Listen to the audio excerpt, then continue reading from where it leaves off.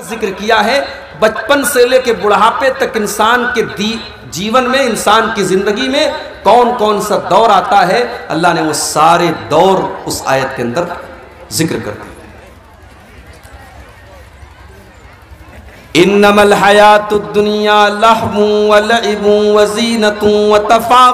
बैनकुम व फिल वल औलाद ये दुनिया की ज़िंदगी क्या है? फरमाया, इन्नमल हयातुद्दुनिया लइबु व लहवुन। ये तो खेल है। बच्चा पैदा होता है तीन चार साल का होता है, उसका एक ही काम है, टाइम पर खाना खाएगा, रात में सोएगा और बाकी टाइम वो खेलेगा।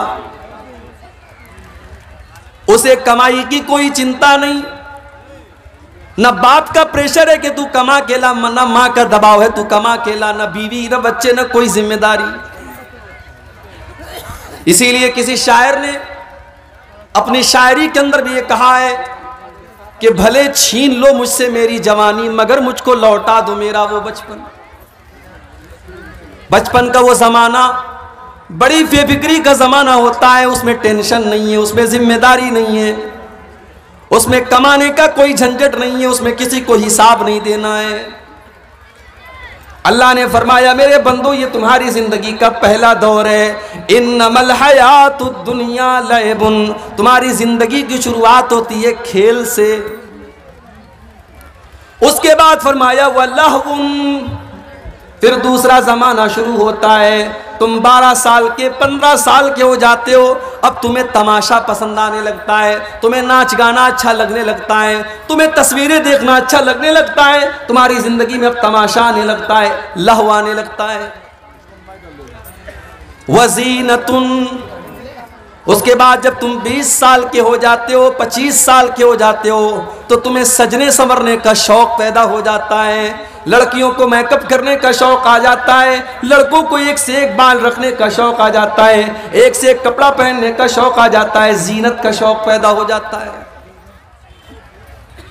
अभी मौलाना बयान किया, हमारे मौलाना जमालुद्दीन साहब ने नौजवानों में बाल के बारे में। अब ये सब तकरीरों में बस बयान होता है। वरना हेयर स्टाइल तो ऐसी ऐसी है माशाअल्लाह कि मत पूछिए, हमारे नौजवान तो ऐसे ऐसे बाल रखते हैं कि कभी कभी तो डाउट होने लगता है कि ये आ रहा है कि आ रही है। ऐसे ऐसे बाल रखे जा रहे हैं। आजकल एक नया दौर चला है हाथों में टैटू बनवाने का, गर्दन पे टैटू बनवाने का। फ़ैशन के नाम पर कुछ भी करने के लिए तैयार है हमारा नौजवान, चाहे वो लड़का हो, चाहे वो लड़की। मेरे प्यारे साथियों, इस्लाम आपको फ़ैशन से मना नहीं करता। जाओ बड़े गुले अल्फाज में कहता हूँ, इस्लाम आपको फ़ैशन से मना नहीं करता। आप एक से एक कपड़ा पहनो, इस्लाम कोई मना ही नहीं करता।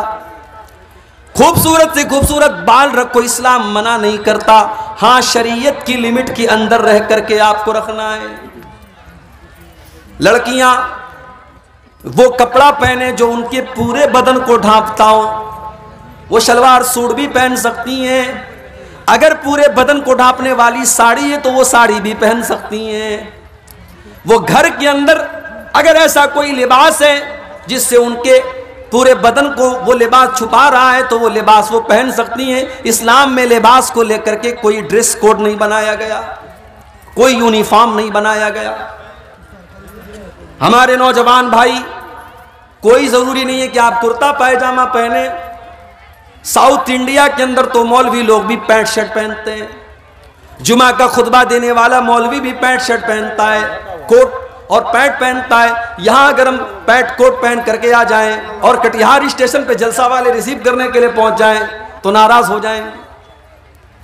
यहाँ तो मौलवी का मतलब कि साहब, मौलवी बेचारा, वो दूसरे सैारे से आया है, दूसरी, दूसरे ज़िंदगी, दूसरे दुनिया की मखलूक है। सारा जमाना पैंट शर्ट पहन सकता है, मौलवी बेचारा नहीं पहन सकता। मौलवी तो कुर्ता पायजामा नहीं अच्छा लगे।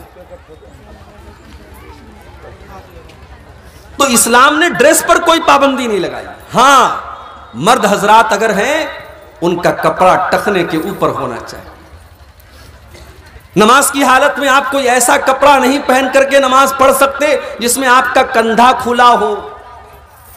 और घुटने से लेकर के नाफ तक का हिस्सा ये मर्द का सतर है, जो नमाज़ के अंदर तो हर हाल में छुपा होना चाहिए और आम हालात में भी छुपा होना चाहिए, कोई मजबूरी हो तो अलग बात। घुटने से लेकर के नाफ तक का हिस्सा। और कंधा ढका होना ज़रूरी है नमाज़ की हालत। औरत नमाज़ पढ़ रही है तो उसकी हथेली और चेहरे को छोड़ करके बाकी पूरा बदन छुपा होना चाहिए। हमारे यहाँ बहुत सारी औरतें हाफ़ हाफ़ आस्तीन का कपड़ा पहनती इतना हाथ उनका खुला रहता है। माफ़ कीजिए, अगर आप उस कपड़े में नमाज़ पहन, पढ़ रही हैं तो आपकी नमाज़ सही नहीं नमाज़ की हालत में आपका कपड़ा सिर्फ़ हथेली और चेहरा खुला होना चाहिए, बाकी पूरा बदन आपका छुपा होना चाहिए। तो इस्लाम ने पाबंदी कहाँ लगाई मेरे भाई?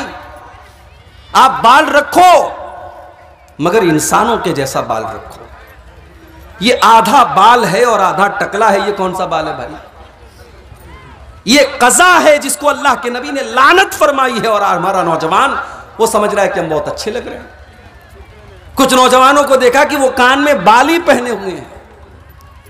कुछ नौजवानों को देखा कि वो हाथों में कड़ा पहने हुए हैं। समझ में नहीं आता ये मुसलमान है कि गैर मुस्लिम है।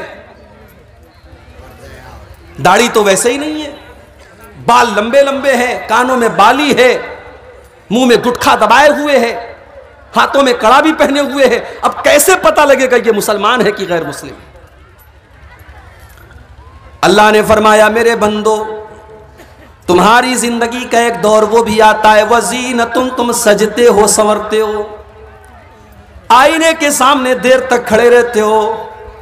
अपने आप को सजाते हो, संवारते हो। अपने चेहरे पर क्रीम लगाते हो। अपने सर के ऊपर तुम तेल लगाते हो।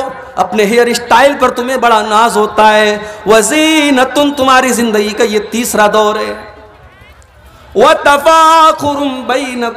उसके बाद एक और दौर आता है, जब तुम एक दूसरे के ऊपर फख्र करने लगते हो। मैं लाख रुपया कमा रहा हूँ। अरे तू तो पचास हज़ार कमा रहा है, मैं तो लाख रुपया कमा रहा हूँ।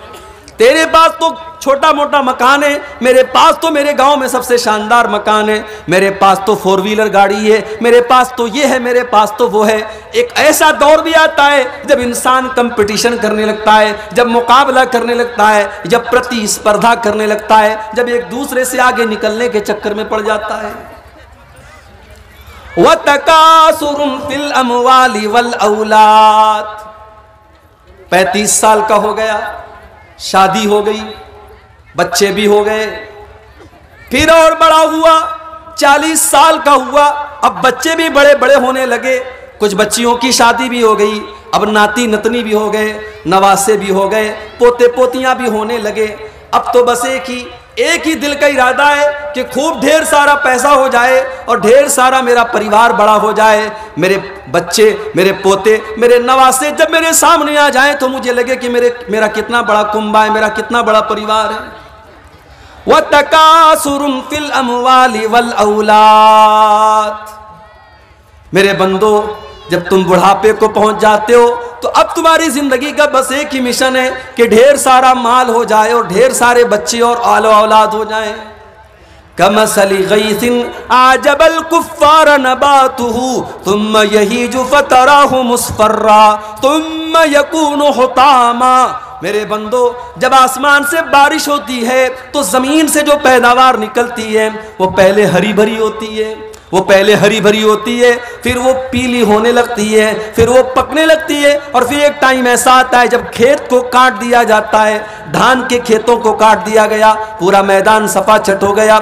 मेरे बंदो, एक दिन तुम्हारी ज़िंदगी की फ़सल भी कट जाएगी, एक दिन तुम्हारी जवानी ढल जाएगी, एक दिन तुम्हारी खूबसूरती खत्म हो जाएगी, तुम्हारा पैसा खत्म हो जाएगा, तुम्हारी दौलत खत्म हो जाएगी, तुम्हारे बदन की ताकत खत्म हो जाएगी, तुम कटी हुई फ़सल की तरह हो जाओगे।